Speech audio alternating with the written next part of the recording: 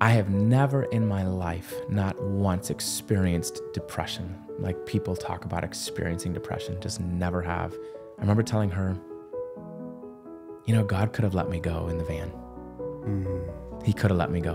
Mm-hmm. I'm not sure what the point is of saving me if I'm never going to walk again mm-hmm. and I'm going to be in pain again mm-hmm. and I'm going to struggle. Emotionally and mentally, I reached a place where I was giving up. Mm. And I came out of it within 24 hours. It was I was, and I've Praise never the been there since, and I Praise never will be. Amen. But Amen. Um, God had to. It was not human effort that pulled me through that. Mm. Welcome back to Why I Am Here podcast. On today's show, we have a special guest. His name is Scott Michael Bennett. If you know him already, or if you follow his music online, you know that his music is amazing. If you haven't listen to his music, please go and search. You might like his music. And on today's show, though we are going to talk a little bit about Scott's talents and gifts and the shows that he has done and some of his music, but our main focus is on an event that happened early last year. Scott was involved in a fatal accident, but God's hand was there to deliver him, and we're going to find out in today's show. So let's do a rewind. You remember the, the days of the tapes that would put in the radio yeah. and you put it on a pen and I'm barely that old. wow. wow, you just made me feel great. Oh, sorry. no, I'm just kidding. Uh, so you, you, talked about the calling. So take us back growing up. Uh, what uh, what made you love music? And if you can share some things, some events that uh, kind of ushered you into uh, that track of music and you know i think music my love for it really stemmed from my mother's love for music. Mm. and she was someone who was always playing music. So it was a playing in the house on cassette tape. I thought you didn't see it those. was. I was really little. But i do remember her playing a lot of you know Sandi Patty christy lane. Um, mm. she would play music in the car and she would sing to it. And as I got older, I learned the songs, and her and I would just belt them out together in the car. So I think the love of music is just something that was infused in me by my mom. Mm-hmm. Um, I think there's a certain love for music that has been placed in my heart by God directly, mm-hmm. where He's given me more than just a love, but a passion for it. I think the the passion for music, the the deep seated desire to use it as a tool to win people's hearts to Christ, that was placed by God. Amen. Um, Amen. no one else in my family is musical. Um, even my mom, even though she loved to sing. Oh, really? No one in my family is musical. No one. No one in my history that we know of really um, is musical. I think my grandfather on one side played the banjo. so I think some of the passion mm. for it was just given as a gift by God for me to use to his glory. Um, I remember as a kid loving music, but didn't really sing, didn't play any instruments, just um, just loved just listening appreciated to, it. Appreciated yeah. music. Yeah, I would go up in, at, at, after church, even as a six, seven year old, I would run right up to the organ oh. as they were playing the postlude. Hmm. And I would just stand there and stare and just while enjoy. the organist was playing. So I, oh, wow. I loved it even then, even wow. though I couldn't make music. Wow.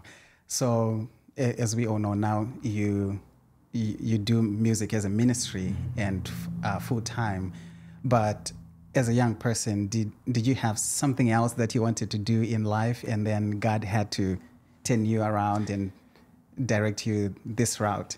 You know, as a kid, I don't know that I had any strong leanings in terms of what my life goal was going to be because I was just a kid. But as I as I grew into my teenage years, uh, my dad, he was a very successful network IT consultant. So he mm-hmm. had his own firm. And I watched what he did and realized he was successful. I watched how much he loved what he did. Mm-hmm. And I remember one day he said to me, Hey, why don't you come to work with me? Just shadow me and get a feel for what it is to be an IT consultant. And I remember telling my dad, I'm like, Well, if it's just sitting behind a computer, yeah, behind the computer, doing techie type of things, you know, it's probably not my thing. I'm a social person. I like being with people. Mm-hmm. And he said, Why don't you just come with me feel it out. I think you'll be surprised by what you find. And so I spent an entire day with him, an eight hour work day. And at the end of the day, I was very in love with it. I mean, it was just 95% people and 5% technology. And interacting with clients was probably my favorite part of that. So that kind of began a seven year career in IT network consulting. I began to study that in school. And um, music was just kind of one of those things I did on the side. I had taken some piano lessons, didn't do too well with piano lessons. Um, I had taken some voice lessons, uh, got pretty serious at Andrews University in terms of their vocal performance program. Uh, but IT just seemed like it would be the, the, the ticket for me to pay the bills and have a pay the bills. successful career someday. So you actually had a full time job, I did. like a nine to 5 I did not know that. yeah. so how long was that? Five years? I did that years? about seven years, seven years, okay. until I was about 25, 26. Um, and that was at that point really, um, there were just dynamics in my family that were changing dramatically. Mm-hmm. Um, I had met Heather, who was, unbeknownst to me, going to be my future wife. Mm. And uh, I had people who I do not believe randomly, I believe divinely were coming out of the woodwork and talking to me about music ministry. Just saying, mm. hey, I've heard you sing in the past. You've done special music at church. Mm-hmm. And I'm just wondering why you haven't created a ministry in music. And I think the turning point for me was one day, I remember Heather showed up at my apartment. She knocked on the door, and I opened up the door, and she was standing there with this big, strange looking cardboard box. Oh, And I said, What's this? she said, You know, I was just inspired to give this to you and to tell you that you should chase your dreams. And I hmm. was like, I'm not sure what that oh, means. That's But I opened box. up this box. Yeah, because I'm like, Are my dreams in this box? Are they going to run away when I open the box? I'm going to have to chase Oh, them. it's a What- fortune cookie. it's a fortune. It's a giant fortune cookie. so I opened up the box and there was this beautiful, brand new Alvarez guitar. Wow. And she had known that I've always hmm. wanted to learn to play guitar. And so she had saved up her money for over a month, so like six or eight weeks. wow. And she was putting money away on this guitar on layaway. Hmm. And finally was able to bring it and give it to me. oh, and that's precious. She left me there with that guitar, and I just mm-hmm. stared at this guitar, and it just occurred to me that here was a, a girl I was uh, engaged to by then okay. Who really believed in God's ability to use music mm-hmm. and me somehow to make a difference in people's lives. And so I think it was then that I realized maybe maybe this career in, in IT was going to be financially successful, mm-hmm, mm-hmm. but it would not be successful in the department of fulfilling. I see. And I started to explore full time music ministry really from that day on. So that transition, did you then quit your job right away or you just started balancing doing music and still working at Yeah, so I was balancing it for a little while, and then there came a point in time where it made more sense for me to transition full time into music. How was that like? It was that was that was pretty sketchy for the first year. I mean, it was. yeah, yeah. it was. I remember I would go away for six weeks and drive around and tour, Mm-hmm. stay at people's houses, stay at hotels, and then I'd come back home and I would do landscaping work. I mean, I would. I remember mowing people's lawns, doing landscaping. I painted people's garage doors and their sheds. This freelance kind of work that would allow me to go back out on tour when I booked enough concerts. So it was this back and forth Back for an and forth. entire year. Mm, And actually, Heather and I got married during that during that time. transition period. Yeah. Wow, that's that's a lot of faith. It- yeah. There's some Yeah. insanity and some faith. yeah, that's uh, that's a high risk. But uh, did you had some some people saying, "Hey, uh, what are you doing? Keep your job and don't don't go full time ministry." Yeah. There's always people who absolutely mean like well. this is pr- presumption and yeah, I think I think there were people who thought, "Is this going to work?" You Mm-hmm. know, they wanted it to for me. They were hoping it would work out, but you know, in terms of logical, from a business standpoint, from a career standpoint, a human standpoint, it doesn't make sense to transition out of a very successful um, career into something that is just so unknown. I mean, the starving artist, that whole moniker, that whole term exists for a reason, you know, because a lot of musicians starve.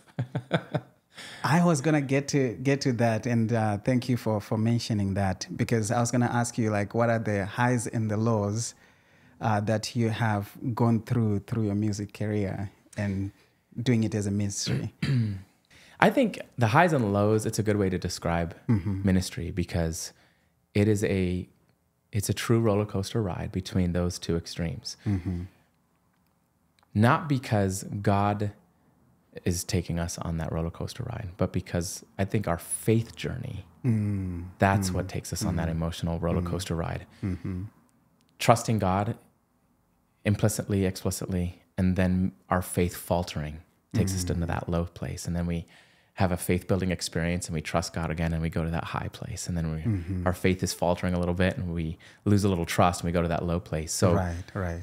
Um, I think that journey for us has included a lot of different scenarios. When I first started music ministry, I remember specifically saying, God, if you are calling me to do this, I need you to book me a concert a month. And then I'll know.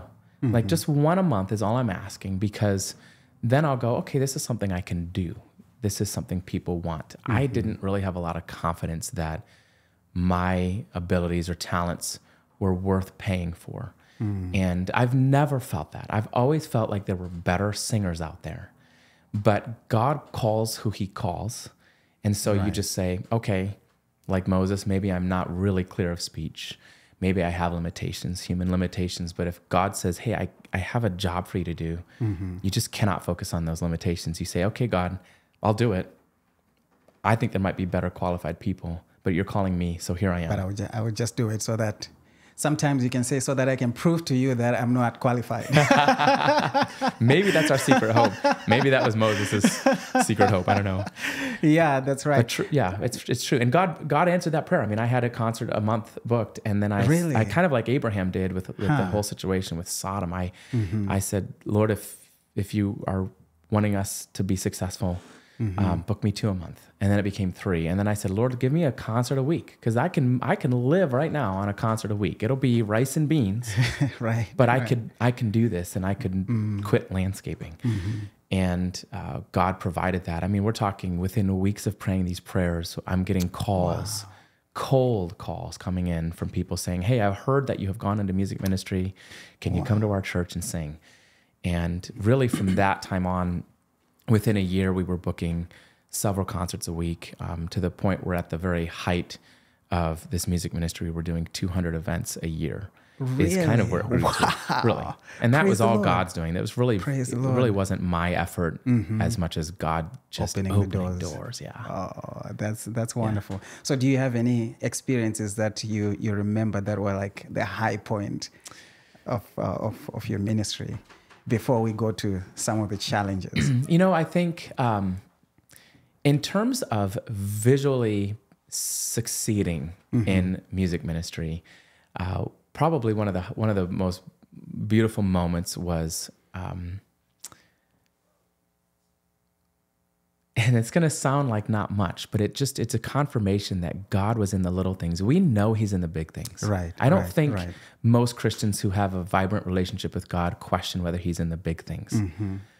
sometimes we question whether God is in the little things. And maybe we know that in our minds, but in our hearts, we just go, uh, God's a Yeah, little too busy. it- yeah, I'll never forget Heather and I having a particularly difficult financial week. I remember that that week um, I had done a concert at a church, and I think we left with an eighty dollar love offering. Mm. But we were faithful. We said, God, we're we're in it for the eighty dollar love offerings. We're in it for the mm. eight hundred dollar love offerings. We're in this mm-hmm. because you called us to it, and we were committed no matter what.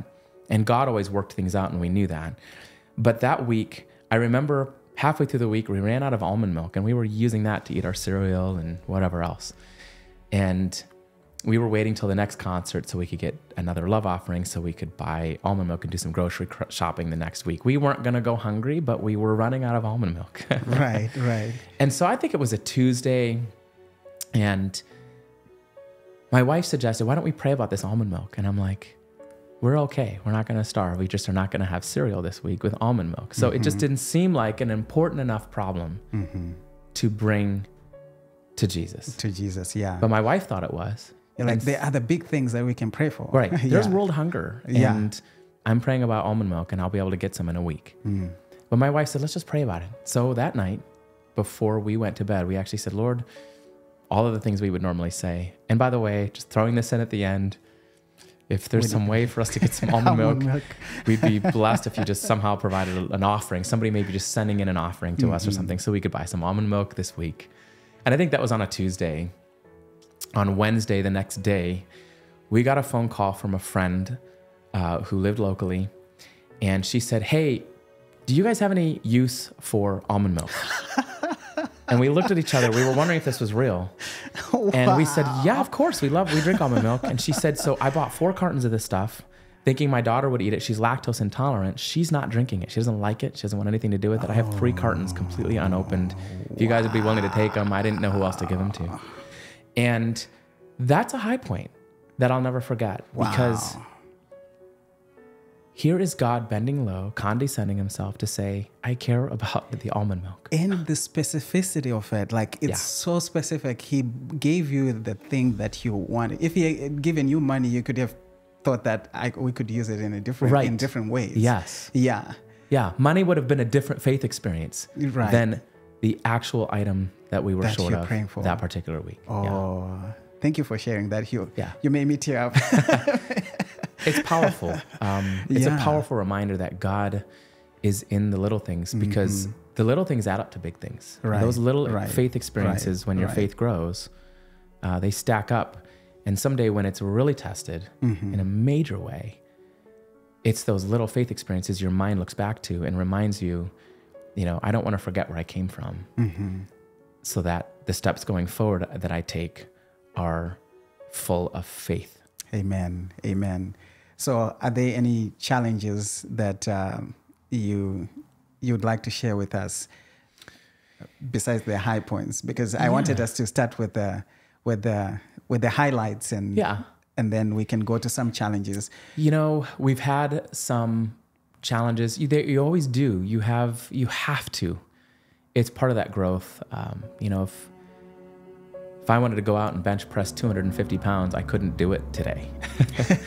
I would have to feel the pain of starting with small weights and going That's true. more and more and more, and then I'd be sore for three days, and then I would Mm-hmm. up my weight again, and I'd be sore for three days, and that would take me years to build up to being able to lift that kind of weight. So faith for me, I think for us, is a similar experience. There's a lot of trial, faith, practice that goes into it, and these faith building experiences can be painful. I'll never forget. You know, we've had uh, a lot of faith building experiences as we've traveled. Um, have we as we've experienced illness or canceled concerts because of weather. Um, I mean, I'll never forget 10 concerts canceled literally in a row because of either weather or illness. Um, I remember probably one of the most challenging times for us was when our tour bus, we were driving from an evangelistic effort that I had just done with It Is Written in Phoenix. We had just, I just sung for this month long event and we were on that high, that seeing 200 and something people get baptized Oh, and we were driving to good, Florida in the tour bus, trying to make it for the next concert tour. Mm-hmm. And in a little town, ironically called Scott, Louisiana, with your name on it. with our name on it. This town was meant to be. Our bus, our engine actually um, had a full meltdown, it had a catastrophic failure of the lower bearings. oh, and we were on the side of the road. Um, and I knew, based on what I had seen on the computer screen as it was analyzing what was going on with the bus, I knew that was a major uh, problem, it was a major engine failure. And we were waiting for a tow truck to come, and the tow truck showed up, and it said Scott's Towing Services, which is very personal there. did you check, take some pictures? I did. I have a bunch of pictures of that. And uh, the police department, you know, they came to, uh, you know, escort the tow truck on back onto the interstate as he was towing our bus. It said Scott Police Department. And I'll I'll never forget. You know, they towed our bus to a nearby shop. We waited a couple days. We actually checked into a hotel and waited a couple days for that shop to assess the damage, and it came back um, exactly what we had feared, which was our engine was um, tired. It had 700,000 miles on it. And it was in need for a, of a complete rebuild. And the quote for that rebuild, I'll never forget it, was thirty-five thousand dollars. Thirty-five thousand. It's like buying a new car. It's like buying a new something. Yeah, Yeah. for sure. And I mean, it's like it's your down payment on your house. And we were we were sitting there in this little hotel room, and we had uh, Emma. We had our our littlest um, child. Actually, we had both of our kids. We had a we had a newborn who was less than a year old, and we had um, our two year old. And we're in this hotel room, and I'll never forget my wife and I, you know, getting this phone call and just looking at each other and trying to process to just process. what we were told. We're stranded. Our home, our only house, is stranded in a shop Mm. in this town, Mm-hmm. and our transportation is stranded. Mm-hmm. And there's an unbelievable amount of money on the line, and we just knew this was going to be a major situation. And I remember us shedding tears over this and just saying, "Lord, what do you What want us to do now?" Yeah. You know, you brought us here, Mm-hmm. like the Israelites. You brought us into the desert, and now we feel like we might be dying. Mhm. and we just came out of a high moment of seeing souls being won for Yeah. Christ, and yeah. yeah, It was a dramatic change in our spirit, for sure. Mm. Um, it's one thing to have faith in God when you have a tire that blows, or when you are hoping to get almond milk. right, right. There's a whole different experience to have faith in God in a situation like this, where we were really truly stranded. And I think that was probably one of the most challenging faith experiences that we have ever had in full time music ministry um, up until recently. Yeah. Mm. How did God save you through out of that situation? So, how it basically turned out, and there's probably a lot more details um, in this story, but briefly, Yes. the when we shared with the uh, mechanics what our situation was we said listen we are trying to get to florida because this is where my income is going to be for the next six months. We have a tour scheduled there. We need to get this bus to florida but we can't do it for $35000 hmm. he said listen for a handful of money about three or four thousand dollars we can rebuild the lower end of this engine which will buy you time he says it could last you 100 miles before it fails again mm-hmm. it could last you a thousand we have no way of knowing but the motor will start to fail again. We're just going to patch it together. And so we said, listen, this is what we need you to do. And we're going to drive this bus on faith the rest of the way from Louisiana to southern Florida so that at least the bus would be stranded in a place where I would continue to do concerts and we could save up the money for this catastrophic repair. And so they did it um, in a day. They had it repaired, put back together. Oh. It was still not right. It was we were, not right. Hmm. were blowing a lot of smoke. Um, there was really no, not a lot of power, not a lot of oil pressure, all the things you need for a healthy engine we didn't have. yes. So we limped it on a prayer. Angels pushed that bus all the way to Arcadia, Florida. Wow. And it made it. I was slowly losing oil pressure as we got closer and closer to our destination. And we made it to um, a friend's house. We had a friend who's retired, who um, loves buses, who owns one himself. Oh. And he had told me, listen, if you can make it to our house, if you can get it to my shop, Mm-hmm. you can back that bus into our barn, into our pole building. And he says, and you can leave it here for months and work on it as you have time. You could probably replace this Oh, engine yourself. That was a blessing. It was a yeah. blessing. Mhm. And so I said, okay. And we took him up on his offer. We backed that bus, made it all the way there, backed it up into his shop, and shut it down. And I began to tour in Florida on the weekends. And Mm. then during the week, I was slowly taking apart that engine and pulling it out of the bus so we could put a new I engine in. remember seeing pictures on Facebook. Yeah. I said, I didn't know that Scott open, opens engines as well. I don't. See, and that's just it. I'm a singer. I have Yeah, no I idea what I'm doing. "Man." It is literally on YouTube and calling people who know these things, just hmm. asking people for advice. But I'm doing the work, which is ma- majority of what the cost is in an engine replacement. It's all the It's labor. labor. Yeah. And so that's where we stayed for about three months, and it took us that long to you know get that engine out and get a new engine uh, rebuilt, shipped, and put back in. And there was a lot of other things that happened in the middle of In all that. of But that, we were able to do it, my wife and I. have pictures of Heather underneath that giant engine, changing the oil pan, and Wow. I mean, the engine alone weighed three or four thousand pounds. So she's she's amazing. She was out there helping me every day. you guys are a power team. It was we were a power team, and a lot of people, you know, supported us. They saw the need, and they financially said, "Hey, if you're willing to get your hands dirty, Mm-hmm. we'll support you, so you can buy the parts to replace this engine." And Mm-hmm. so the engine and the parts were were literally uh, paid for entirely by our supporters and our donors. Praise the Lord. Um, so we were able Lord. to just put our sweat equity into it and replace the engine. In the Praise bus. the Lord. So, Amen. yeah. Amen. Yeah, God intervenes in so many different ways that we don't even have an idea. It's true. Yeah, I, true. I remember a quote, I think it's in Ministry of Healing that says God has a thousand ways of dealing with one situation. Mm. So many ways that He can be able to assure us that He's there and His hand is with us all the time. Yeah. And you know, when you're in ministry, Satan doesn't go to bed or rest. No. I remember one Sabbath morning. I don't remember the day day exactly. Um, waking up to a post on Facebook. I think it was probably a few months after you had done a concert for us, Mm. and uh, seeing the, the the post that you had been involved in an accident, and seeing the comments, realizing that this was serious. And I remember announcing, t- I was doing announcements that day at, at my church, and I had seen some other churches post on their Facebook pages as well. And I'm thinking, what just happened? So, do you mind just transitioning for us into that experience and what happened that day and uh, where were you going and uh, what was that experience like? So that was January 21 of 2023. Mm-hmm. I woke up really early that morning to head to a church in Ohio. I was scheduled to preach, kind of do a preaching sermon. Preaching there. sermon. Yeah. Yeah. And so I was going to sing and share some testimony. they had scheduled you to preach. I remember Yeah. we had this conversation. You, when you came to our church, you said, Pastor Michael, I've never preached before.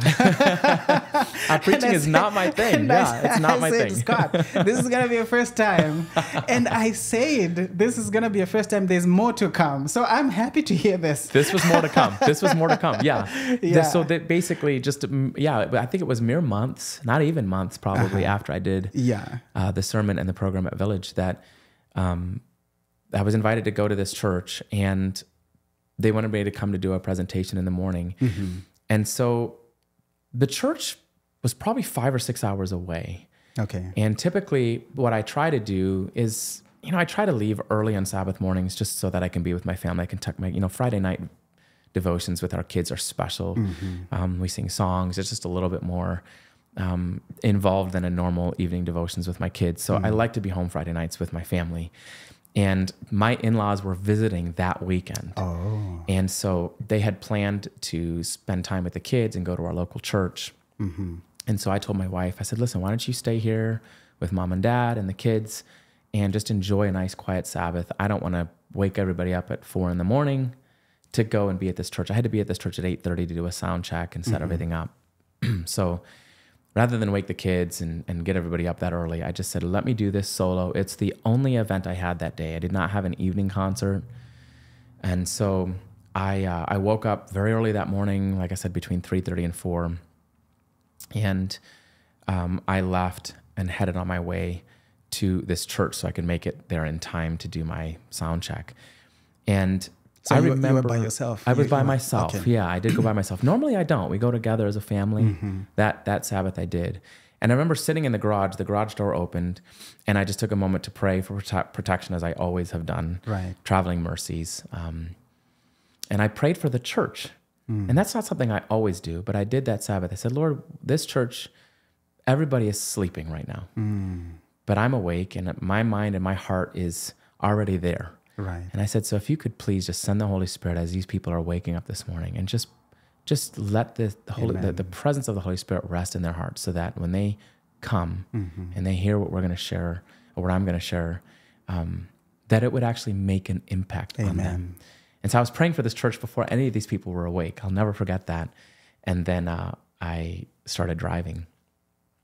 Um, I remember when I jumped on the toll road. Mm-hmm. I initially had, was crossing a bridge, and the bridge was really slippery. I remember hitting the brakes to stop yeah, at the toll this is booth. in January. This is It winter. It was Yeah. January.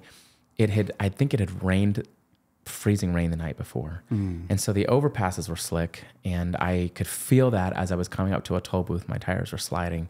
And I remember making a mental note okay, be careful on overpasses. The road seems to be okay, but anything that was in the air seemed to have frozen. And so as I'm driving on the toll road, I'm seeing some vehicles that had spun out on the bridges. I remember hmm. seeing a tr- pickup truck and another car.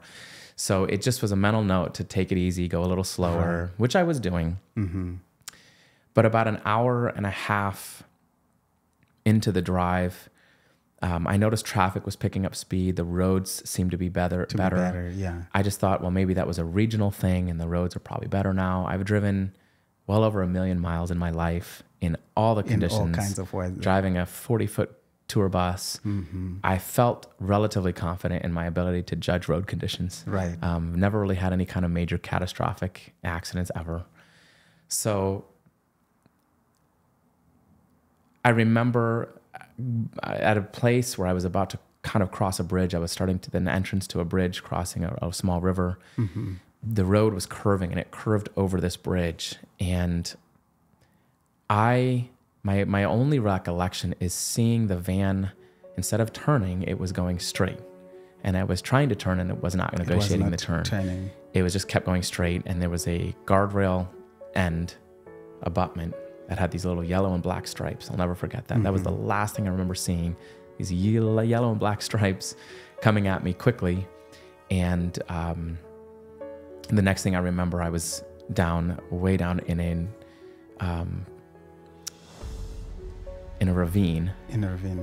in total darkness and i would it was starting i was starting the realization was coming to me that i had actually left the road and been in So an you still had consciousness. You could see what so as far as I know, I did. I don't know that I lost consciousness during the impact. Um, Hmm. I have. I remember most of hitting things and the noise. I remember the interior lights of the van. You know, the instrument panel lights being on, and then I remember a very loud impact, and then them turning off. Hmm. And we found out later that the battery had actually come out of the van in the impact. Oh. So, the, impact was that was that uh, was that bad. yeah. So Mm-hmm. what I was told um, later by the accident investigators was that I had gone through the guardrail Mm-hmm. and left the road, and the ravine was about a 20 foot drop, and the van had actually gone drop. airborne briefly, and then hit the ground nose first as it landed, and it was that impact that caused the catastrophic damage in the van, Right. and right. That's a um, big impact. it was a major Yeah. impact and so that's you know i uh, during the course of my time in the van i don't know how many times i lost consciousness we do know i did at one point we have listened to uh, the 911 call so you can tell that i've lost consciousness some at some point so someone call. called 911 or So no one saw me leave the road. It was, of course, five something in the morning on a Right. Saturday morning. There was really not much traffic around me at the time traffic, at, all, yeah. at all, and no one on the section of road that I was. Mm-hmm. So no one had seen me leave the road. I was down there um, in the dark alone, and I could hear traffic passing way up on the highway because the glass had you know blown out of the van, but Mm-hmm. I could tell that no one had stopped. I mean, I was trying to look around and no one had stopped. Hmm. So it was like I said, completely dark. There were no street lights. There was no moon. And I remember trying to feel for my cell phone, which is mounted on a mount on the dash for my GPS. but it it had Yeah. flown off and it had flown mountain. off, so it wasn't there. And I remember when I reached for it and I put my hand back down on my lap, that is when I could actually feel my bone, my femur sticking out of my leg. Hmm. And I could feel the warm blood. And I knew at that point, I'm injured. That's a serious injury. My femur is broken. Wow. and so at that point, I realized I need to, I need to get help. This is not, I'm, I started to try to move my legs and the brain was sending signals. The legs were And they not responding. move. Hmm. There was no movement. And I was trying to get my bearings. I couldn't tell if I was upside down or right side up. I had no idea. So the only thing I could think of to do, um, because I didn't know where my cell phone was, was just to yell out, you know, hey, Siri. Okay. And then I asked her to dial 911. Um, so Siri actually responded. As loud as I could, I just screamed it. And I could see my phone light up on the floor of the floorboard of the vehicle. Mm-hmm. And I heard her say, calling 911 in three seconds. And it did. And it called on speakerphone. And dispatch answered the phone. And I spoke to them on speakerphone. really? and she she asked me where I was. I said I don't know where I am. I'm on the toll road. I don't know where I am. And she triangulated the location of my phone and was able to find out exactly where I was. Wow. Um, Wow. she asked me if I had injuries. I said yeah, I believe I broke my leg. And I used a piece of plastic trim to rake the phone towards me. And I remember being able to reach the phone and get it. And I turned the light on and I started looking at my injuries and I realized I had broken both my legs at that point. And um, I told her, I said, I've broken both my legs, which she was in disbelief. She's like, Did you, you broke both your legs? I said, Yeah. And- She's like, Are you sure? Speaking. Yeah, I was still talking. I said, "Yeah, I've broken both my legs for sure. I could see my left foot was folded underneath the gas pedal. Oh. Um, this leg was completely cut open and bleeding everywhere. Hmm. So I had open fractures here, a closed fracture here, and then an open fracture on my femur. And so I just I knew there was there was a lot of blood everywhere. There was a lot of blood in my seat. Mm-hmm. So I told her I said I'm injured pretty bad, and I said I think I'm losing consciousness. She says, "Okay, why do you think that?" And I said it's because I'm my vision is I'm starting to go blind. And she said, "Okay, can you still hear me?" And I said, "Yeah, I can hear you, but I can't see anything anymore." And I said, "I think I'm just losing consciousness Because you're losing a lot of blood. I think yeah, shock, uh, And blood shock, yeah. loss. There's a lot of reasons. So, um, she had said to me, "Listen, we have a state trooper on the way, but it's taking him a long time to get to you. The roads are really bad, so it's going to be a 10 minute wait before he can get to you. You need to stay with me on the line." And she did stay with me. And you can hear a couple of times she's saying, "Sir, sir," and I'm not responding. So I think maybe I was in and out. Um, while waiting for that state was trooper to waiting come. for that Yeah. state trooper to come. So they come and um, did they take you in, a, in an ambulance or they airlifted you? So this that state trooper arrived, and he was the first person there. He arrived before any medical personnel. Oh, okay. And I remember when he climbed into the passenger side because the driver's side was jammed shut. He, I remember him looking at me and going, "I need to get a tourniquet on you right away. You're bleeding out." And so he ran back to his car. He comes back in and he starts applying a tourniquet to my leg. And he said, "I need another tourniquet for your other leg because you're bleeding out of that leg. I don't have one." Um, he said, "You just need to stay with me until the paramedics come." And I remember, um, I remember firefighters showing up, and they were cutting my door open. They were trying to cut the door The off. driver side. Yeah, so they cut it off, and they looked at me and they said, "We're not 100 percent sure the best way to get you out." Because I was pinned in there. They're like, "Do you want to come out feet first or head first? And they asked me that. They did ask you. they asked me, and I said, "I definitely want to come out head first. But yeah, don't know. I don't Okay. know. I just said head first. so I came out head first. They, I remember them carrying me up that embankment, and I was hanging onto their lapels because I felt like I was going to slide off the, the bodyboard. Okay. Even though they strapped me in, I could feel that angle. So I just hung Yeah. onto their lapels. Yeah. And then they put me in an ambulance, and then another ambulance had come.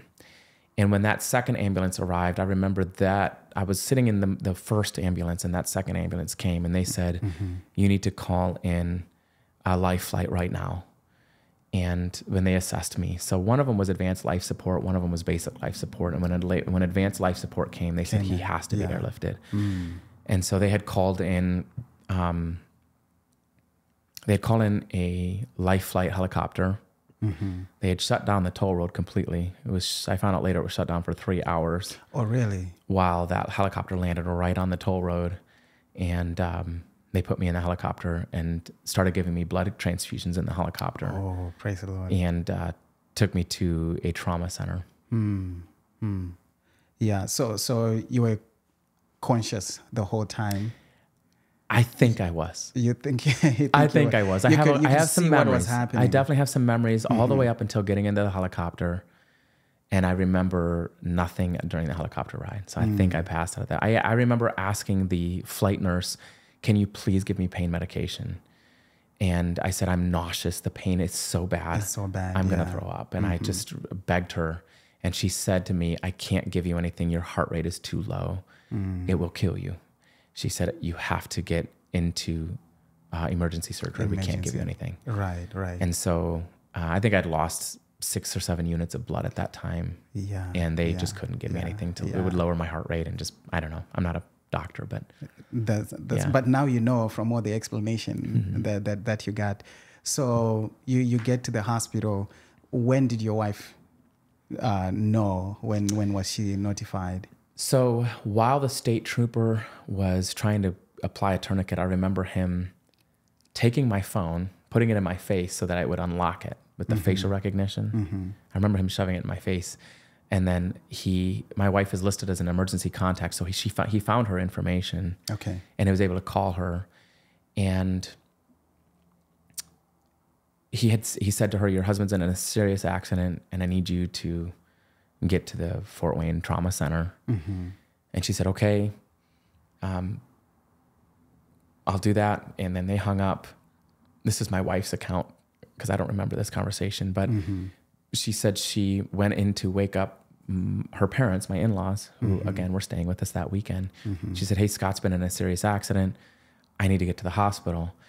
I had the only working vehicle at the time because our truck was in the shop getting repaired. Oh, I see. And so, praise the Lord, she was able to take Their, their, their vehicle. So my, my Mm-hmm. actually my dad woke up, my father-in-law, and he said, "Okay, I'll take you to the hospital." My mother-in-law said, "I'll watch the kids," Oh. and it worked out perfectly. So my wife and my father-in-law jumped in the vehicle and started driving. The, the problem is, is she couldn't remember what hospital they were taking me to. She was so shocked being woken up, Uh-huh. you know, in the night, and hearing this news, she just didn't recall The name of the the name of the hospital. And so she said to my my father-in-law, she's like, I don't know where to go. And my father-in-law said, Well, where was he going? She said, Well, this is the church he was headed to, so let's just start driving that way. So they got on the toll road and just started driving blindly. And then they um, they got the idea to, to use Find My Phone Oh. to see where my phone was located. I was still on scene at the time, and my phone was still on the scene Was still on the scene. and they were able to find the location of the accident and start driving towards the scene of the accident. The whole time, she's calling my cell phone over and over again, hoping somebody will answer it. And no one was speaking. And nobody was picking up because they mm-hmm. were too busy trying to get me out of the van. So she said at some point, a flight nurse answered the phone call. And she said, she answered the phone and she said, Listen, we're taking off. I can't talk. Mm. And my wife said, Okay, but please tell me where you're taking my husband. I'm his wife. I need to know where you're taking him. And she said, Fort Wayne trauma. Trauma. And my mm-hmm. wife said, thank you. And then the nurse, flight nurse hung up and that was it. So my wife, for a two and a half hour drive to this trauma unit, she basically, all she knows is I've been in a horrible car accident mm-hmm. and that I'm being airlifted. It's all she knows. She didn't know what critical condition you were in. She didn't know. Mm-hmm. And, you know, she told me later, she said, your mind goes through the worst possible scenario.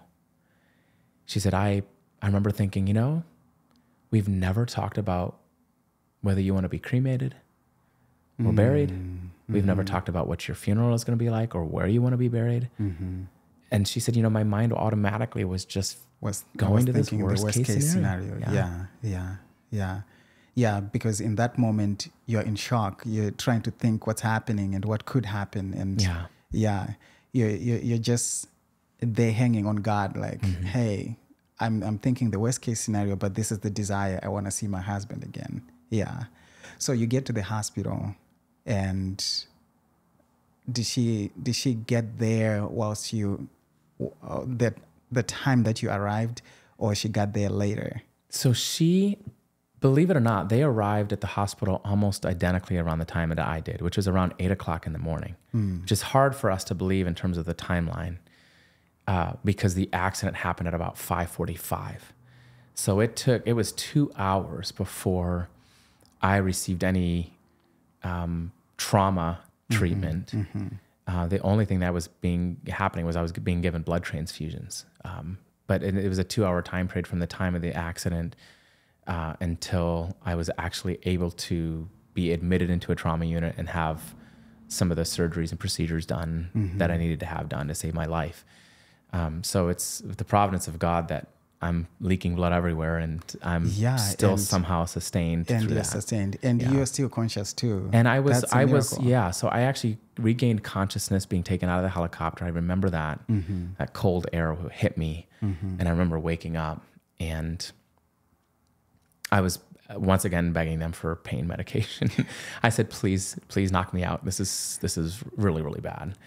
Um, and I don't rem- I don't remember really much after that. Um, I remember being wheeled in. I remember the state trooper had arrived at the hospital Uh-huh. and was walking next to me down the hall as they were wheeling me As they, as they were wheeling into you. the trauma unit. Mm-hmm. And that is really all I remember until probably almost three days later. Oh, really? that was my last memory for a few days. So my wife and father-in-law did arrive Uh huh. uh, right around the same time. A chaplain met them, which Okay. was kind of a red flag for them too. Mm. The chaplain said, "Hey, um, they're wheeling him into surgery here," Mm-hmm. and uh, that was the first time that actually she had found out that I was still alive. Um, but she knew it was serious, Mm-hmm. and they told her that it's serious. Um, you know, he's got some pretty extensive Bad injuries, injuries, and these yeah. these risk surgeries are risky. Mm-hmm. So just kind of be prepared for, you know, the best and worst. So the three days that uh, you didn't know what was happening, from the stories that you have heard, what was exactly happening in those three days? From what my wife has told me, her timeline is that um, that day, that Sabbath, I was in surgery most of the day. And then later in the day, um, I came out of surgery, was in post op for a while. Then uh, by the evening, they were able to admit me into a critical care room. And so I was in that critical care room. The next day, I had another surgery, apparently and was also put back into post op and then back into my critical care room. And then the third day, I had another surgery. So I had a total of five surgeries Five surgeries back over the course of those three days.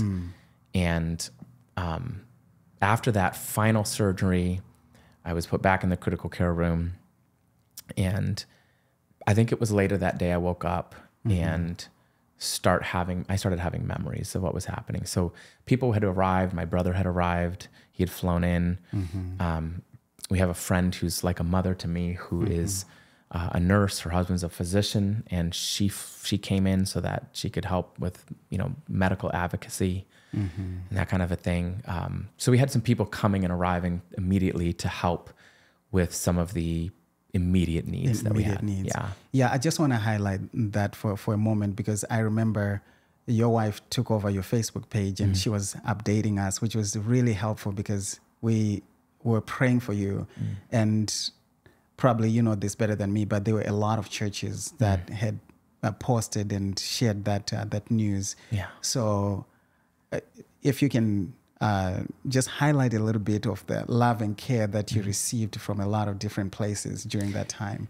Yeah, it wasn't until really after that third day, maybe even the fourth day, that my wife, I remember her, we had one quiet moment when nurses weren't coming in and out of the room. I think they were trying to stabilize my blood pressure and and my hemoglobin levels. So it was really crazy those first several days. Um, but we had a moment when my brother had gone out to get a meal, and um, you know the other, the other people that were there visiting um, had just stepped out of the room to to handle some things, and so it was just Heather and I for the first time, and she kind of got in my bed with me, and she just. I remember her looking at me, and she just took my face in her hands. She said, "Baby," she says, "you have no idea how many people are praying for you." I remember that. She just looked me straight in the eye. She's like, Yeah. "You don't have any mm-hmm. idea." She says, "My phone, your Facebook page, our email, our text messages Yeah. are blowing up." She said, mm-hmm. literally, she said, thousands of people all over the world, people we don't even know, mm-hmm. are praying you through this. Amen. I wish you could see it. Amen. She's just gonna have to believe me. Someday you'll get to go back and look at all this and look at all the messages and Yeah. realize that God is reaching down to us Amen. through the hands and the feet of all these people. Amen. Amen. It was powerful. Amen. I'll never forget that moment. It was one of the first lucid moments I remember having for sure. Yeah. Yeah, that was a time that you just uh, got your consciousness back and you could yeah, and I, and I had what was happening. I, yeah, any memories of what was happening. I think they said I was conscious on and off those first few days, but I was so heavily medicated that I remember none of it. so, oh, I see. I see. yeah. So did your kids understood what was happening or They were told. So when, um, when I was in surgery the first day on Sabbath, my wife called home and told the girls what happened when they were awake. They said, "Listen, you know, Daddy has been in a car accident," and they asked, "Well, he was he hurt?" And she said, "Yeah, his legs are not quite working right, but the doctors are doing their best to fix them. Um, but we think Daddy's going to be just fine. But you guys, if you want to do something for Daddy, you can pray for him today." And so they just, you know, that they were, I don't know, five and seven at the time, yeah, yeah. and they said, "Okay, we can pray for Daddy." Mm. and that's what they did. Um, they prayed for daddy, and the kids have faith. You know, they at that moment, I don't think they were really comprehending the The, seriousness the- of the, the situation. seriousness of the situation. They just yeah. know daddy left to go do a concert, and he's not back yet. yeah, he's not feeling good. He's in the hospital and we're right, praying for him. Exactly. Yeah, yeah, yeah. So uh, take us through that time you were in the hospital. I think you had more surgeries after Mm-hmm. that. And how was that like? You know, I was in critical care for a little over a week, and that was mainly just because these surgeries were attempting to, you know, repair the bone damage. You know, I had rods that were pl- had to be placed. Um, I had soft tissue uh, wounds um, that were pretty serious that they weren't sure they'd be able to close. So I would be going back in for them to clean these wounds out so they wouldn't get infected, and then they would close the wound further, and then uh, they'd wait a day for me to recover from that recover surgery, from and then that. I'd go back in, and you know they called them I&Ds, where they just cleaned things out and tried to stretch the skin tighter to close the wound. They were trying to avoid a skin graft, is what they were trying to avoid. So I remember just kind of being in and out of surgery.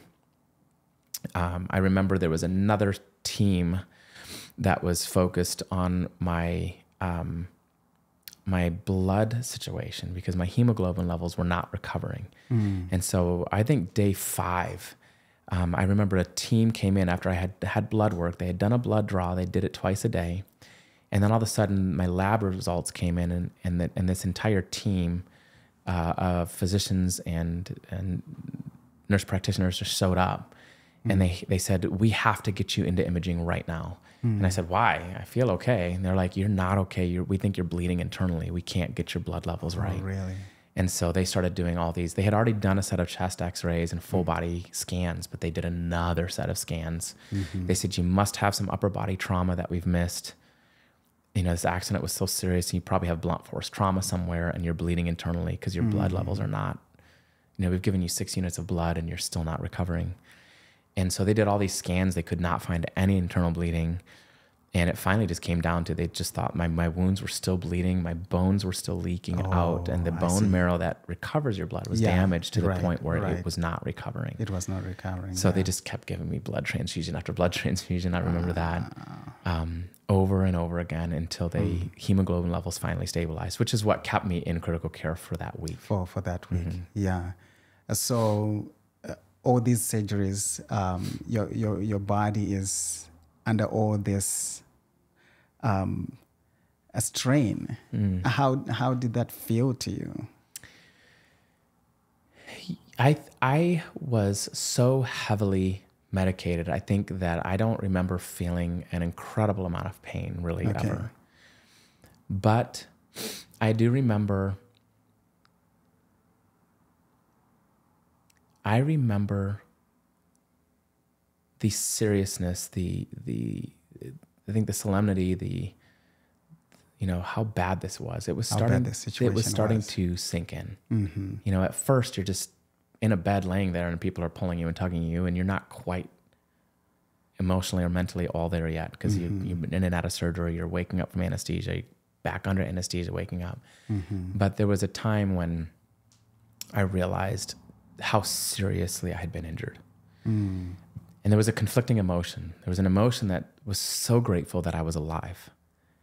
Because as the state trooper was recounting to me what had happened, as I was looking at photographs of the van, the, the like, one of the one of the actual EMT nurses was taking pictures of the scene for me to have later. For she and she have it. texted us those pictures. Wow. So we got to see the scene of the accident and so there was a part of my heart that was so grateful, just saying, God, thank you for sparing my life. Mm-hmm.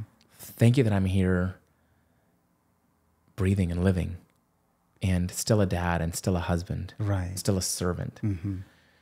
And that was conflicting with the part of me that went, you know, from here on down, What is going to happen? Okay. Yeah. Yeah. How is am I gonna going to leave?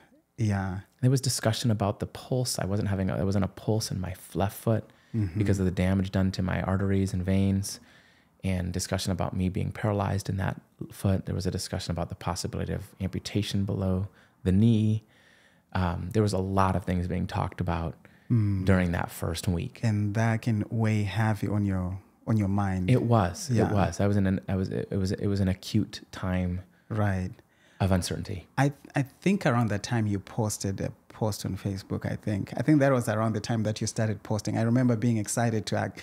You said uh, on your page, "This is actually Scott." I was like, "Amen, praise the Lord!" Because all this time we were getting updates from your wife. Yes. And the time that you started posting, I was so happy to see a post that was coming from you. Yeah. And I think some of those posts, that's when you were explaining how heavy the situation was. I think. Yeah, I there was it was a it was a blessing to be able to share. I think for a lot of people have share, shared the same sentiment that you've shared, where Mm-hmm. once they started seeing that I was posting, they thought, okay, he's going to be okay. Like Yeah, this is yeah, the worst is over, most yeah, likely. yeah, yeah. and and somebody we love dearly is going to be okay. Um, you know, behind the scenes, I was struggling again with how serious the injuries were, Mm-hmm. how serious the prognosis was Yeah. because there was nobody telling me you're going to be okay, but they were hoping for the best, but Mm-hmm. Right, expecting the worst. right. You know, so and they don't want to give you false hope. They tell you what it is, like how it is. yeah, which is what you want. You want your medical Mm-hmm. professionals to be frank. Right, right, right. But I do remember one particular evening. This was probably a week into this, Mm-hmm. and it was just Heather and I in the room. It was probably nine o'clock at night. Mm-hmm. I was um, really struggling with the fact that I wasn't sure I was going to walk again. Mm. And I have never in my life, not once, experienced depression. Like people talk about experiencing depression, just never have. Just not one of those people. You know, you have days when you're uh, bummed out a little bit, but this was what what started happening to me that evening was probably the closest thing that I could ever imagine depression being like, where emotionally and mentally I reached a place where I was giving up. I was saying, Lord, I don't think I I'm was ever going to be about to ask you that. That how was your faith at that point? Yeah, That was the lowest time. Mm-hmm. I've never felt like that in my entire existence, the mm. way I felt that night. Mm-hmm. And I remember saying, God, I don't know that I want to live.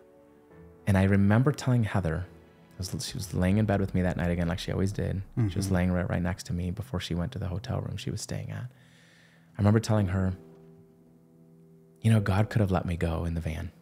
Mm-hmm. He could have let me go. Mm-hmm. I'm not sure what the point is of saving me if I'm never going to walk again mm. and I'm going to be in pain again mm-hmm. and I'm going to struggle and feel the way that I'm feeling. That doesn't make a lot of sense why he didn't just let me go. Mm-hmm. And that concerned her pretty heavily. And she actually got a nurse.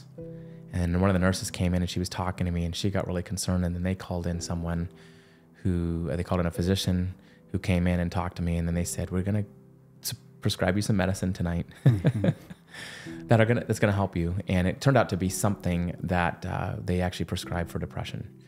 Oh, and so I started receiving a medicine, and that was the one and only time in my life for 24 hours I received depression medicine. De- depression medicine. Yeah. And uh, they called in a team the next day, a, a rehabilitation team that said, "We need to. We're going to get you out of your room. We want you to look outside and get some sunlight. We need to get you in a wheelchair. We got to get you up." Um, they had heard about what had happened last the night before, so it was right, pretty bad. It was right. a low place, and I came out of it within 24 hours. It was I was, and I've Praise the never been Lord. there since, and I Praise never will Lord. be. Amen. But Amen. um, God had to. It was not human effort that pulled me through that. Mm.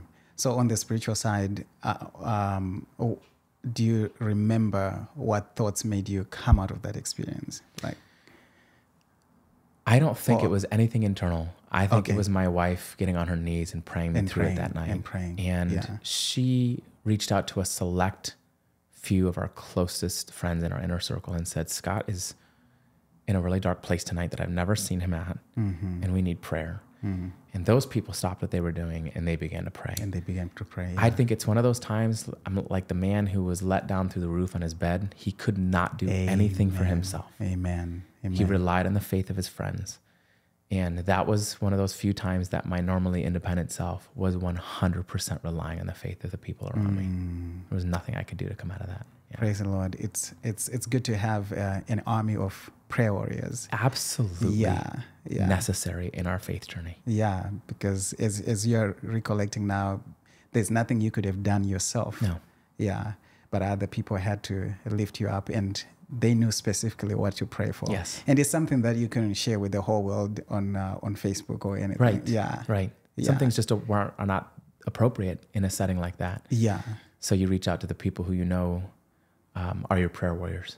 Yeah, that's right. So how long did you did you stay in that unit um, that you're in? So I was in a uh, I was in a critical care unit for um, I think almost eight days, eight or nine days, and then um, once they stabilized all my vitals, I was able to transfer to a step down acute care unit, and then I was there for another eight or nine days um, before finally being released to go home, and uh, that was a blessing. The acute care unit was. Um, I just got more sleep. There weren't, you know, people were not checking on you every hour of the night.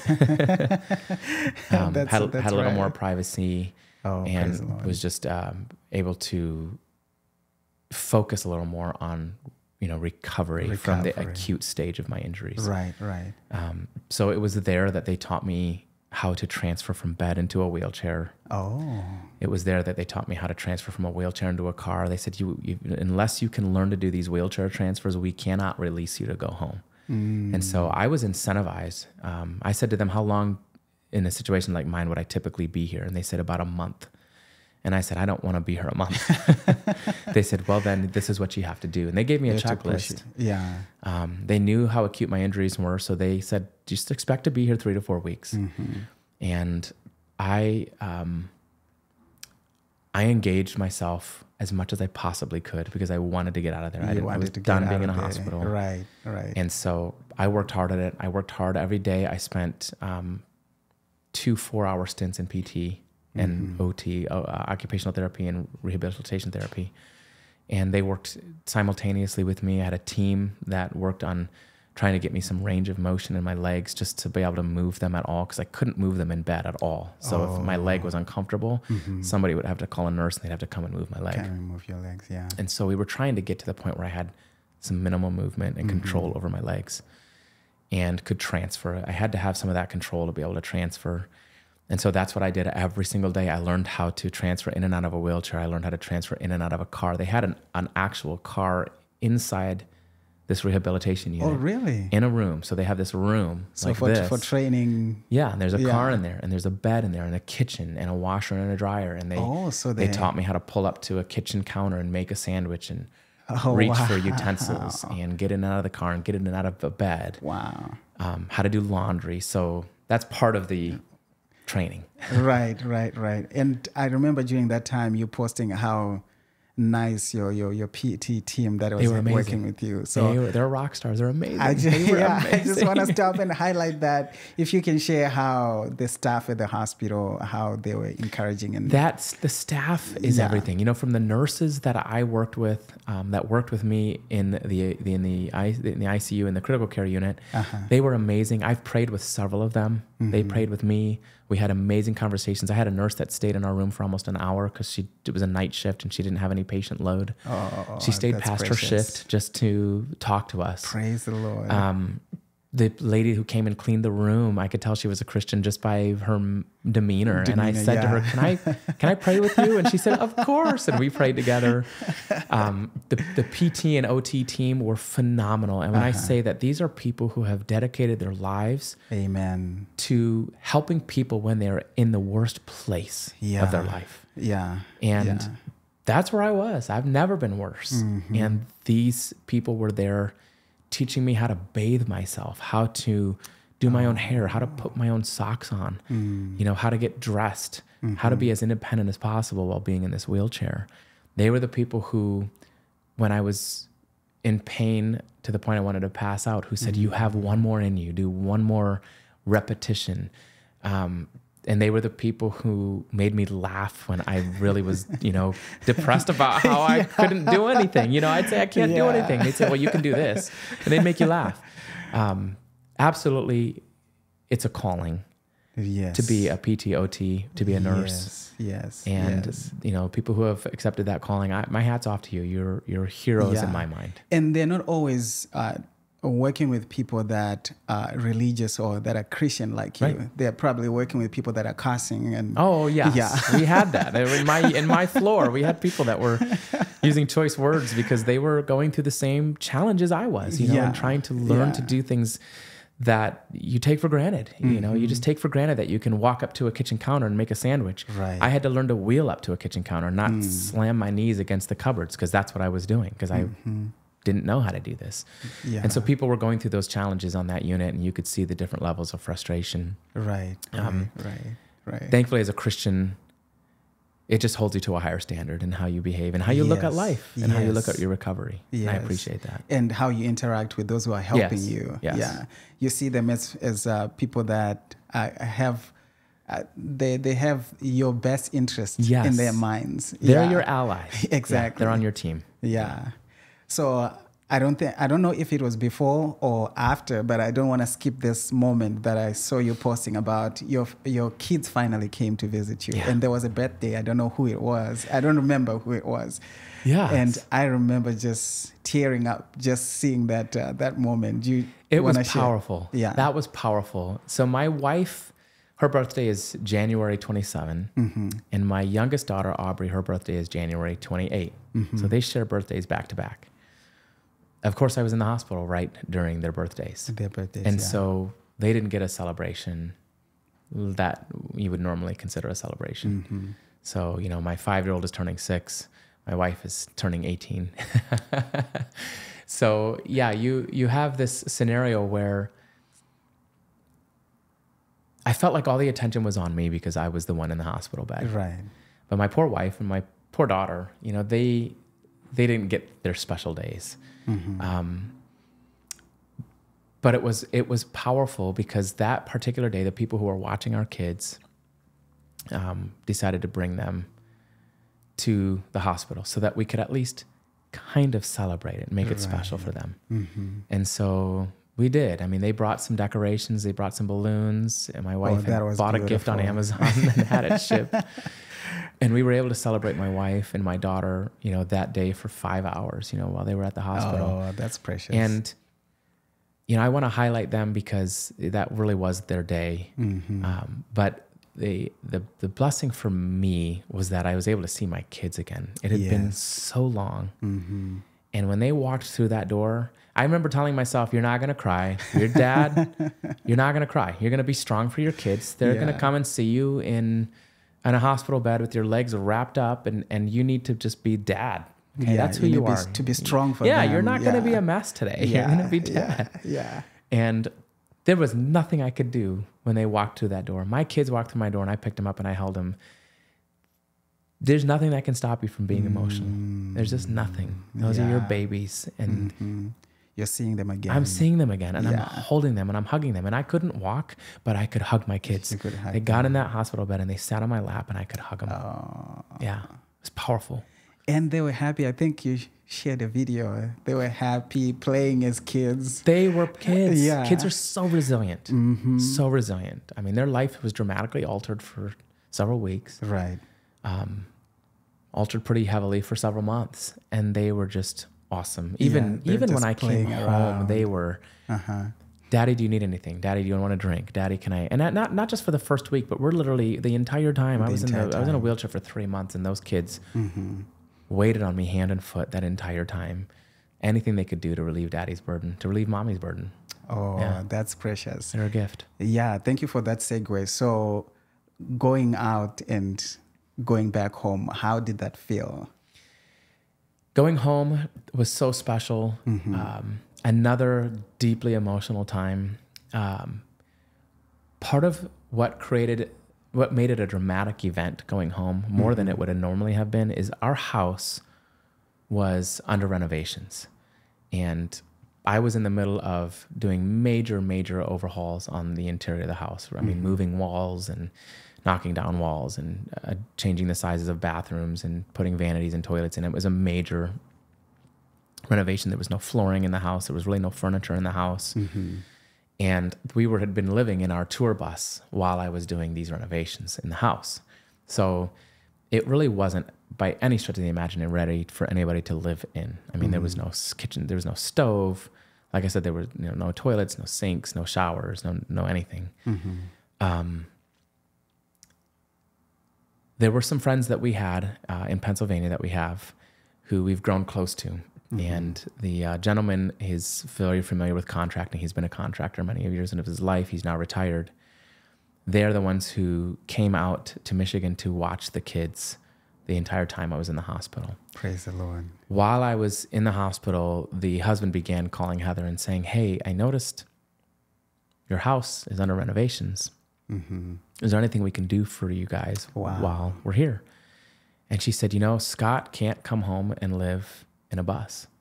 He can't be in a wheelchair. He cannot climb the stairs into the coach. Mm-hmm. It's going to be an impossible situation. So we're either going to have to move into a, some sort of handicap accessible apartment or we're going to have to do something in this house. Mm-hmm. So she asked, she says, if you would be willing to put in a toilet and a shower and a sink so we have a bathroom, that's what we need. We can cook on a camp stove. We can get by. He can wheel around on these plywood floors. But if we just have those basic things, um, we can put a bed in there. We can make it, you know, comfortable. Livable, We had yeah. a few things of furniture in there because we had camped out in the house already several nights because the kids wanted to sleep in there. So there were a couple pieces of furniture, but um, it wasn't ready for prime time. And so that man began to work. And the more he worked, the more he wanted to do. And the more he wanted to do, the more he realized he needed a team. So he had actually called several was- church members. I was going to ask if he worked. He worked by himself. He did Yeah. for a while, and then he decided, "I'm going to get some help, and we're gonna we're gonna get this house ready." Did he have a timeline? Did he have, have an idea of when you were going to He knew that I'd be coming home in a matter of weeks. He didn't know how few. Okay. I think he was expecting three to four weeks. Mm-hmm. I don't think he realized it would be less than three. So he called some people that he knew in Pennsylvania that were church members and said, Hey, we've got a project. Would you guys be willing to come? And mm-hmm. so they started showing up with tool trucks and with equipment and all of the things that were needed to do this home renovation. And he started asking people from our local church here in Stevensville, the pastor, Pastor Bryce Bowman, he showed up and he came with his son and they began to work Ah, in the house. wonderful. And Yeah. Mm-hmm. a couple of other church members, I remember Rudy Marshner and Tracy Bliven showed up and they began to work in our house, putting in a handicap accessible ramp. And Yeah, I saw he had a team of nine people at one point working Mm-hmm. in this house every day every day. doing a complete and total renovation. Wow. And I'm talking everything all the toilets, all the showers, all the sinks, putting in new kitchen cabinets, putting in a stove, putting in trim, painting the trim, putting in furniture, putting in curtains and and uh, bedding, new bedding and and and new couch covers and I mean I can't it was a you know bunk beds, carpet, f- you know all the flooring got put in the house. It So was a how are they renovation. funding this project at this time? Like, They just knew it needed to be done, Uh-huh. and they would call Heather and say, "Check your phone for pictures. Is this color the right color you want for carpet? Is this color flooring a good color flooring for you?" Um, just asking, and she's going, "What are you guys doing?" And they're like, "Don't worry about what we're doing. Just approve or deny or reject these color choices." Yeah, because we don't want to put a wrong color. That was literally, yeah, that was really what was happening. Um, they were literally doing an extreme home makeover while we were in the hospital, while we were focusing on pulling together as a family, these people were showing us love the in the best possible way they could. Amen. Yeah. Amen. So you get back to a house that was completely different. It was surreal. I rolled up that ramp, which I was so grateful for. Yeah. Because I used that ramp for three months. Mm-hmm. And they opened the door of the house, and I go in, and I knew they had been doing something. I had never, ever in a million years I would have imagined. So were you seeing the pictures as well? I just saw. I never. Nobody ever If sent me pictures, okay. but I knew that they had put flooring and carpet in because I had seen that there were samples Okay. of flooring and carpet being Mm-hmm. sent to Heather. So I never saw any pictures of the interior of the house. No one ever sent pictures of the interior of the house. So we just had no idea what they were doing. Hmm. So I expected to see maybe some floors put in that I could roll this wheelchair on. But when we rolled through that kitchen door into the house and I looked around, I didn't recognize the home. I hmm. knew it was our house, but I didn't recognize it. And it was a very weird, disconnected feeling. Wow.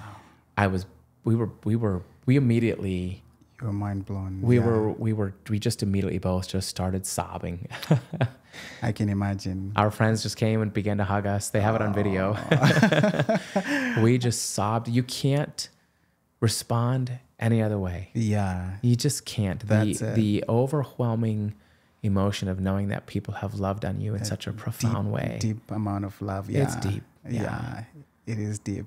So you got back home and you started adjusting Mm-hmm.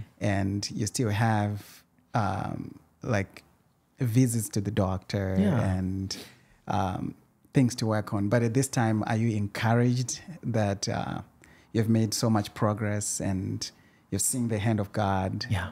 God has provided above and beyond emotional support, spiritual support, and even physical needs at this time. So, how are you looking at the progress that you had made and the future at that moment? It was about a month before I was engaged in any rehabilitation. Mm-hmm. So my rehab team at the acute care facility had said your leg injuries are so acute that every time we try to work with your legs, your wounds open back up and Oh, begin to, back. to bleed. Mm-hmm. So they recommended that we wait on physical therapy and rehabilitation heal. until the wounds closed mm-hmm. enough that they wouldn't be compromised with manipulation. Mm-hmm. So that took about a month. I was seeing oh. a wound care specialist every single week who was applying special um, dressings to these wounds. My wife was doing wound dressing changes every single day using some of the dressings that they gave her. She was my she was my home health she care was nurse. your- your nurse, She was yeah. amazing. Uh-huh. Um, so that was kind of the first month, and we really had no idea what my recovery was going to be. At that time, I still wasn't really using my legs at all or moving them at all. Um, so I was starting to feel out what life would be like to be a paraplegic because that's what I was assuming could happen. I mean, I I knew that I would probably gain some sensation and feeling back, but I didn't at that time. But about a month into it, I began going to uh, see a physical therapy team um, near here, and they did an assessment on me. The director of the program actually took me on as his personal case, Oh, really? and I began working with them. And he was the first person, he and his uh, team member, Lori Bliven, who's also a church member, Oh, they were the first people who told me, You will walk again. You will probably run again. And you're going to live a very, very, very successful, wonderful praise life, Lord. fully rehabilitated. so were they saying that um, from the standpoint of faith, or they were seeing your progress? I think it was a combination of faith, um, seeing my attitude, because I did come in with an attitude of, Let's do this. right. and uh, their medical expertise, seeing injuries like this and knowing what the what the possibilities were. Hmm. And so I think there was an aspect of all three of those things coming together Oh, with that prognosis. praise the Lord. So did that encourage you to hear It those did. words? It did. I mean, I had two medical professionals telling me you're going to be okay. It's going to take a long time. They said you're going to be in physical therapy for a year or more, Mm-hmm. and it will take time. And you'll probably have a two to three year recovery period of regaining your maximum medical improvement, but you will get better. Amen. And that was Amen. very, very encouraging to me. I knew right then and there that that is very encouraging. Yeah.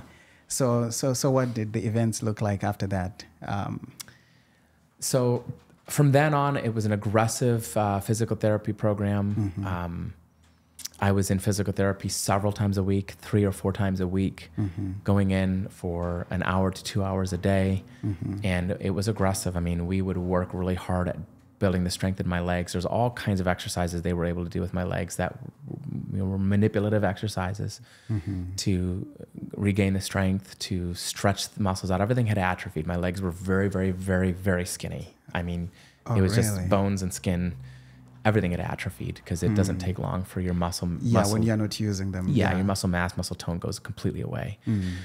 So um, they worked um, on a non-load bearing, non-weight bearing basis for almost probably a month and a half, maybe almost two months uh, with me, building the strength in those legs using machines. And then over time, um, as the wounds healed, I began to go to the pool and swim and use. You know, water hydrotherapy to to try to build the the muscle tone in The- my the legs. Even though I couldn't stand and hold my own weight, I could get in the water. So I could wheelchair up to the water and get in the water from my wheelchair and swim. And I felt amazing in the pool because I was weightless. Oh, I see. I was wondering how yeah. you, you did that. It was amazing. Um, so over time, I they began building the strength in the legs, and I remember the day came when it was time for me to stand. And the very first time I stood, actually, without assistance, I was at home. I was by myself, and I remember thinking, my legs feel really good today. I think I can stand. And my wife was a little concerned about it. She's like, I don't know if this is a good idea, but she kind of stood by me to catch me. I wore a gait belt, which is a belt that can you can Right, grab. right. Uh-huh. And I remember pushing off of my dresser and my countertop, my desktop, and I was able to very slowly, very painfully stand up. Stand up. And I just stood up for just a few seconds, and I went back down in the wheelchair. But th- right, right, right then and there, I knew I'm gonna be okay. It was possible. This is it. This is this is this is what I'm shooting for. Oh, I'm gonna Oh, get praise better. the Lord. Yeah. Praise the Lord. Yeah, that, that that would be a huge encouragement. It was. Although it wasn't that long, but it was long enough to just give you that courage to say, "Hey, this is doable. It's gonna be okay." Yeah, because the the biggest challenge is in your mind and your heart. It's really not your body. Your body, at some level, will follow your mind and your heart. Hmm. Yeah. Thank you for saying that because I was actually wondering. I've heard so many people, even people who who be helping, like nurses and medical practitioners, saying, "Hey, uh, be strong." And so I always wondered how that actually contributes to uh, to your body actually being strong, fighting something, um, your your your mental where where you are mentally, and that spirit of we're gonna do this Yeah. how it actually impa- impacts the body in responding It does. It does. It's we it, we hear it talked about all the time. Yeah. Athletes discuss it all the time. Uh, but the truth is, there there is a remarkable amount of control we have over our physical recovery, Mm-hmm. over our you know physical state. That it really starts in the mind Mm-hmm. you know and we're we're reminded where your heart is there your treasure will be right? And Mm-hmm. and and what you put into your mind is what's going to come out and that's true. Um, there have been so many scientific studies that have proven the point that you can will yourself to be ill and you can will yourself to be right well. right. And once I had enough physical evidence that I could be better, I willed myself to be well. and it doesn't come um, in place of faith, Mm-hmm. it doesn't come in place of reality, but it comes from a place of I intend to be 100% better. I intend someday to glorify God by telling people I've made a 100% recovery from a catastrophic accident. This is my intention. So I'm going to get as close to that as I possibly can. And I won't stop reaching for that until I know reasonably that I mm-hmm. cannot get any further. And I think that is that is the place that every Christian should have, and that's that's that's where we should all be in our hearts, because it is mm-hmm. it's the it's the humanity united with the divinity. God That's could have right. rolled the stone away. He could have said, "Stone, roll away," and then Lazarus come forth, right? But he mm-hmm. says, "Hey, you you roll the Mm-hmm. You stone roll away. the stone you can do that, but I'll do what you can't do. I'll I'll bring life to this man." yeah or the man that was told to go and wash his eyes in the in the in the in the river when when he had put uh, that mud on The his, mud on his eyes, on his eyes yeah Yeah. Hey, thank you for highlighting that because I always wondered like how how much of an impact it Mm-hmm. makes when someone said, "Hey, stay, hang in there, hang in there, uh, keep fighting." Yeah, um, like people who be fighting cancer, and someone said, "Hey, uh, keep fighting, don't give up." Right. How how that actually impacts. it makes all the difference. It mm-hmm. makes all the difference. And I think, you know, if you have a friend or a family member, a loved one who's going through an acute, physically debilitating period of their life, mm-hmm. that encouragement will go a long way. And again, encouragement from a place of love, a place of understanding, not a place of of indifference, Right. but from a place of love and understanding, saying, I know this is the hardest thing you've ever gone through. I know that you hurt. I know that the future is cloudy, but I also know you have more in you Mm. and you can do more. You can do better. You can be more well than you are now. Amen. And I will walk this road with you hand in hand if you're willing to try your best to get better. And people have told me that. And I'm where I am today because of people like that. Amen. Praise the Lord. Praise the Lord. Yeah. thank you for sharing that because that helps me understand how how that connection actually helps the people encouraging Right. and your mindset um, saying "I- I'm going to do this. So you stood up for a few seconds and you you sit down again in the wheelchair and you have that courage. Yeah. So how did the journey proceed in you in, in you getting better and better? Pretty much from then on out, I knew um, I wasn't going to stop until I was better. And so I have pushed and I have pushed and I've continued to push um, to reach that what they call that maximum medical improvement when you are as good as you're going to be for the rest of your life. And uh, from here on out you just maintain as far as you've gotten. And so i'm the closest that i've ever been.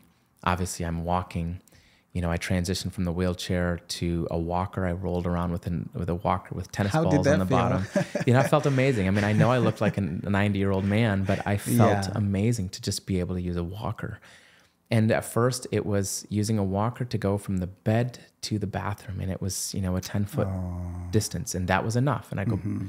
Back to the bed, and I would just breathe really heavy for the longest time, and my legs Right. Would hurt the rest of the day. And then it was you know from bed into the living room, and then um, I would sit down on my chair, and I would my legs would hurt for the rest of the day, and I'd be done. You know, I'd take a Mm-hmm. nap. I mean, half the time, if I walked from with the walker from the bedroom to the living room, I would take a nap. I'd take an hour long nap from that. Mm. Um, and then it got further and further and further. And um, there was a point in time when I got one of those rolling walkers that had the little hand brakes and had Mm-hmm. wheels. And I was able to take that outside and take some walks in the lawn Oh, the outside with that. And it had a seat, so I could just sit. You know, I'd walk across the lawn, And maybe then 10 you- or 15 you- you feet, and I'd sit and rest, and Uh-huh. I'd do more. So this was just this Gradually. painfully slow progress. And PT's working with you on strength and, Yeah. and flexibility and range of motion. And you're going home and trying to push yourself at home as much as possible. And Mm-hmm. Um, I remember a couple months into this, they lifted my driving restriction. I was under a driving restriction. They lifted that. And so Oh, and then was a you uh, you started driving. I started driving, Yeah. you know, where I was able to drive, which was, you know, I had to, I had to overcome a, a very small amount of anxiety over driving again. You know, yes, getting because back into those this memories van. come back. You yeah. do. You just have. You're you very know, cautious. It was difficult to yeah. Mm-hmm. get in a vehicle again for the first time. It took a, took a few moments. It took my breath away a little bit to get in that vehicle for the first time, but I thought you're gonna have to drive the rest of your life. So That's you're gonna right. you're gonna buck up and you're gonna get through Yeah. this. And uh, you know, with God's help, you do. Mm-hmm. Um, so there was just it's been constant progress since then. Every day. Mm-hmm. Um, I, uh, you know, I can see the light at the end of the tunnel. I ha- have some damage in my knees as a result of the accident. When you when you break a femur, it's about 900 pounds of force to break a femur, and so that force that broke the femur also, you know, is very very. It does severe damage to your Damage joints to your too. joints too. And so. I have some um, torn ligaments and meniscus in my knee, Mm-hmm. and so that's just causing some mobility issues. And so they're going to work on fixing that surgically next month, and then I have some uh, uh, more. Um, is going to be done on my left knee just to make sure everything's okay. But the light at the end of the tunnel is getting brighter every day. Mm-hmm. Praise the Lord. And, um, and then when I was nervous for you, I saw you biking because I think you you posted something biking. I was like, Scott, what are you doing? I could ride a bike before I could walk, which was amazing. There's just no impact. It's this rotational thing. And I found I accidentally one day I just thought, you know, I'm gonna use my walker, hobble over to a bike, have Mm-hmm. Heather help me get on a bike and see if I can ride.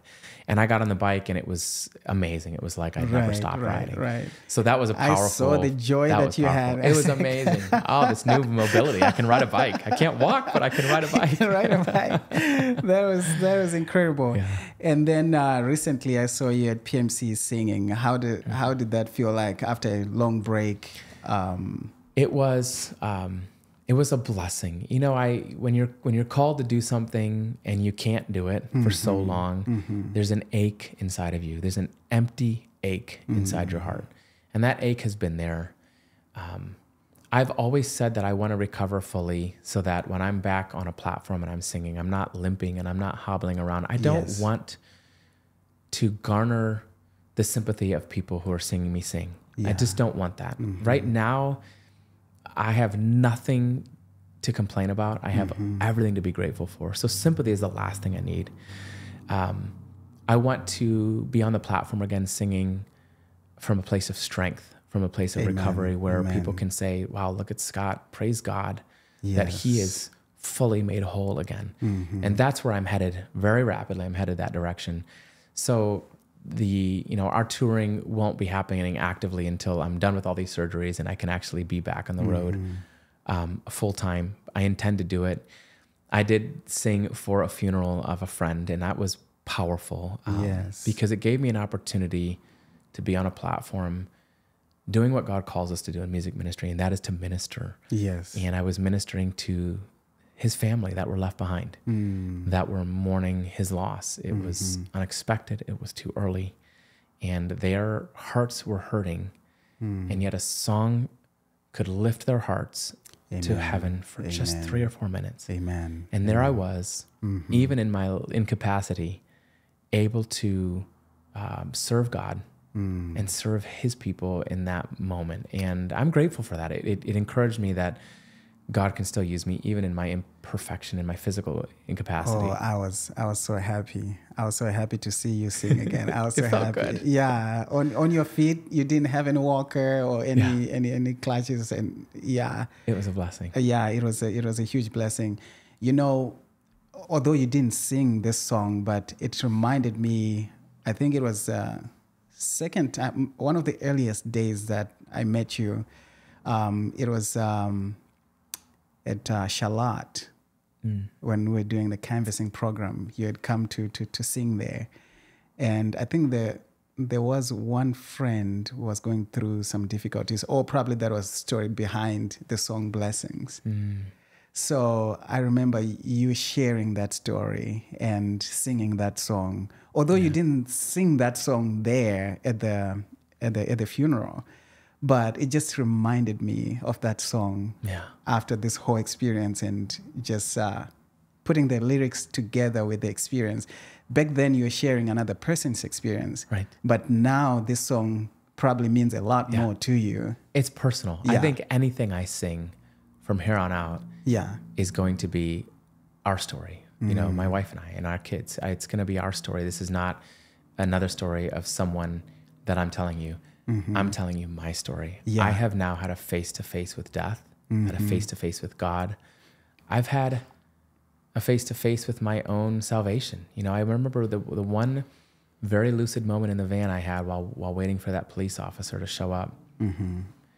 I remember being on the phone with dispatch, and when I was starting to lose my vision, I thought maybe I would lose consciousness, and that maybe I would that die. would be the, the the end. and yeah. before I lost consciousness, I remember saying, "God, Mm-hmm. are we good?" Hmm. And I remember that's all I said. And God said to me, "We're good." Hmm. And I know everybody talks about that peace that floods over them. We talk about it as a peace that passes understanding. It does pass understanding because I'm sitting on the side of a toll road in the dark, Mm-hmm. alone, in the cold, Mm. dying, and I have peace coming over me. Just you and God. That doesn't make sense. Mm. It passes all understanding. Mm-hmm. But God was there saying, no matter what, we're good. And I knew I could die on the side of that road and everything would be okay. Mm. And I told the state trooper this. He said, when he told me how bad my injuries were, I said, listen, if I die, tell my wife I've talked to God and we're good. Wow. And he said to me, wow. I really want you to tell your wife that. I said, listen, I don't know where you're at with God. Mm-hmm. I don't know where your heart is at with Him. I said, but I'm telling you right now, God and I are good. Mm. And I want my wife to know that. She needs to know and have the assurance of my salvation if something happens to me. He said, okay, I'll tell her, but I'd really prefer you do it. You need to stay with me. so I've had those moments where I have faced these real things. And when I sing now, when I share this testimony, when I'm be- asked to recall these Mhm. stories, Mm-hmm. it, it comes from a place of personal Of personal growth and personal faith and personal experience for sure. Amen. Yeah. Amen. Any last words? I think I would leave anybody with this simple reminder that has been my mantra in my life now, and that Mhm. is whether you live or die, whether in sickness or in health, Mm-hmm. whether you're rich or you're poor. You know, we make these vows to our spouses, but this is our vow to God. Mm-hmm. God is good. Amen. Regardless of what happens, He is good. If I had died on the side of the road that morning on January 21, Amen. God would have still been good. Mm. Mm-hmm. I'm alive and God is good. If I never walked again, God is good. Amen. I'm walking again. and God is good. So I want to leave anybody who's ever had their faith challenged that it doesn't matter what the outcome is. If you are in His hands, God is good. Amen. Amen.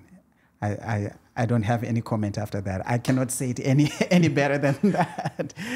Thank you so much for, for sharing your story. Thank you for Um, having me. Yeah, I know when you're telling the story, brings all those uh, memories and some of the emotions as Mhm. well.